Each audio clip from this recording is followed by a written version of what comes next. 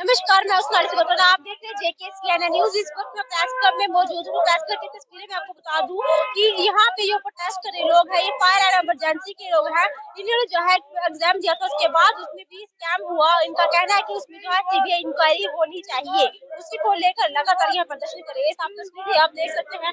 Fire and emergency requirement scam जो निकला हुआ है, उसके बाद सीबीआई इंक्वायरी के लिए डिमांड कर रहे हैं, लेकिन इनकी डिमांड जो है पूरी नहीं हो पा रही। और यहाँ पे आज प्रदर्शन कर रही है प्रेस क्लब की तस्वीरें आपको दिखा रही हूँ। किस तरह से जितने भी इसके एस्पेरेंट्स हैं, वो सभी जो है वो प्रोटेस्ट करे इनका जो बैनर में लिखा हुआ पैसे दो, नौकरी लो, और लेकिन पैसे देकर नौकरी मिलती है। इनसे बात करेंगे कि क्या कुछ कहना है। इस आप तस्वीरें आप देख सकते किस तरह से सर क्या कहोगे जिस तरह से प्रदर्शन कर रहे हो? क्या कुछ डिमांड आपकी जिसको आप प्रदर्शन हमारी तीन साल से यही डिमांड है कि इस पे सीबीआई इंक्वायरी की जाए। जो इतना बड़ा घोटाला हुआ है तीन सौ सत्तर और पैंतीस से करने के बाद इन्होंने कहा था कि हम ज़ीरो परसेंट टॉलरेंसी पे काम करेंगे। लेकिन ये उल्टा हो रहा है कि ये करप्शन पे ही काम कर रहे हैं। करप्शन बढ़ावा एल जी साहब भाषण दे रहे हैं जगह जगह मंचों पे जाके हम ज़ीरो परसेंट ये करेंगे। लेकिन तो हम तो सबूत दे रहे हैं एल जी साहब को। पूरा डोजर ज़िंदा सबूत दिया कि इसमें करप्शन हुई है इसमें। लेकिन मान नहीं रहे एल जी साहब पता नहीं घेरी नींद में सोए हमारी बातें हमने तो उनको सारा कुछ दे दिया है लेकिन कर ही नहीं रहा हम आपके माध्यम से दोबारा बताना चाहते हैं साहब को। अगर फायर एंड इमरजेंसी पे सीबीआई इंक्वायरी नहीं हुई जिसको क्रॉस नहीं किया गया तो आज के बाद हम तवे पुल पे सात साल लड़के का अट्ठाईस सुसाइड करेगा। कब से आप अपनी गुहार लगा में हमने दिया था दो हज़ार तेरह की एडवर्टाइजमेंट है तीन दो बार हमने ग्राउंड किया तीन बार हमने रिटर्न दिया लेकिन जब इन्होंने निकाली फेरोटिज्म नेपोटिज्म करप्शन ब्यूरोक्रेशन के घरों में काम कर रहे थे मंत्रियों के घरों में काम कर वो लड़के लगे लेकिन जो पढ़े लिखे बेरोजगार यूथ है वो हमारे पीछे खड़े नारे लगा रहे हैं। कभी आवाज़ उठाई? हमने तीन साल से कम से कम तीन सौ धरने किए लेकिन कोई सुनी नहीं रहा है।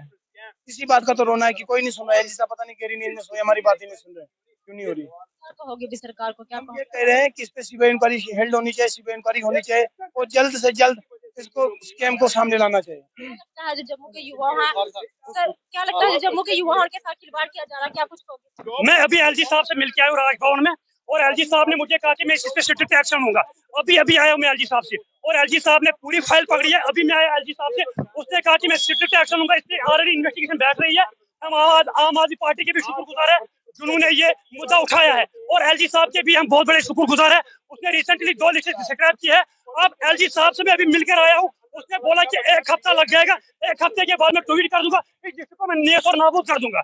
तो हम बीजेपी के भी बहुत बड़े शुक्रगुजार है, सबों के बहुत बड़े शुक्रगुजार है, जो हमारी आवाज़ को उठा रहे हैं और ये एलजी साहब तक पहुंचाते हैं। और एलजी साहब ने मुझे आश्वासन दे दिया, आप आराम से श्रीनगर जाओ हम श्रीनगर से जम्मू आ गए लेकिन विद इन डेज़ ट्वीट आएगा एलजी एलजी की तरफ़ से। हम एलजी के बहुत बड़े शुक्रगुजार है। उसके फ़ैन बन चुके हम और बीजेपी सब सबों के फ़ैन पहुँच के। कभी एलजी साहब से आपकी बात उससे पहले मैंने एलजी से आज से दो महीने पहले अपॉइंटमेंट किया है। उस वक्त भी उसने कहा स्ट्रिक्ट एक्शन चल रही है। आज उसने कहा कि इस पे एक बहुत बड़े ऑफिसर का मतलब जो इन्वेस्टिगेशन कर रहा है मैं उसका नाम यहाँ पे नहीं लूँगा। लेकिन चल रही है।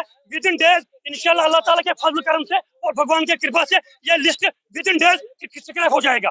क्या लगता है क्यों होते हैं ये? इसमें देखो अगर देखा जाए तो इसमें बड़े बड़े ब्यूरोक्रेट का हाथ है। अगर मैं फायर सर्विस की बात करूँ तो संतरी से लेकर मंत्री तक इस डिपार्टमेंट में जिन्होंने घोटाला किया हमारी ज़िंदगी को तबाह और बर्बाद कर चुकी है। लेकिन खासकर मैं आज यही कहना चाहता हूँ कि मैं एल जी का बहुत बड़ा शुक्रगुजार हूँ जिसने मुझे अभी कहा कि मैं स्ट्रिक्ट एक्शन मैंने इस पर ले ली आने वाले दिनों में मैं इस डिस्ट्रिक्ट को सर्टिफिकेट कर दूँगा। हाँ हमें आश्वासन आज मिल गया। हम बहुत बड़े खुश हम बहुत शुक्र गुजार है एल जी साहब के और सभी पार्टियों के बहुत बड़े शुक्र गुजार है। इनशाला लिस्ट क्रैश हो जाएगा। इनको जो है अभी एल जी साहब से बात करके आए हैं इनको कहीं ना कहीं आश्वासन जो है मिल चुका है। इनका कहना है की हमारी बात जो है पहले भी कई बार एलजी प्रशासन से हो चुकी थी लेकिन उस पर कोई भी संज्ञान नहीं लिया गया था लेकिन अब जो है लगातार तीन साल से प्रदर्शन कर रहे हैं अब जो है इनकी डिमांड कहीं ना कहीं एलजी प्रशासन तक पहुँची और उन्होंने जो है इनसे बात की और कहा कि हम एक हफ़्ते तक जो है वो लिस्ट जारी कर देंगे एक हफ़्ते तक जो है हम ट्यूट कर देंगे और कोई ना कोई आपका जो है वो चारा कर देंगे और उसी को लेकर आज ये बहुत खुश भी नज़र पहले जो है प्रदर्शन कर रहे थे लेकिन अभी अभी जो है वो एलजी प्रशासन से बात हुई उनका कहना है कि हम जो है आप आपकी और जान जो है वो ज़रूर देंगे और जनता अपनी राइट वन पक्ष में ज़रूर रखिए कि उनका क्या कुछ रहा है। इसकी अपडेट के साथ जुड़ रहे देखते रहिए न्यूज़ दीजिए इजाज़त धन्यवाद।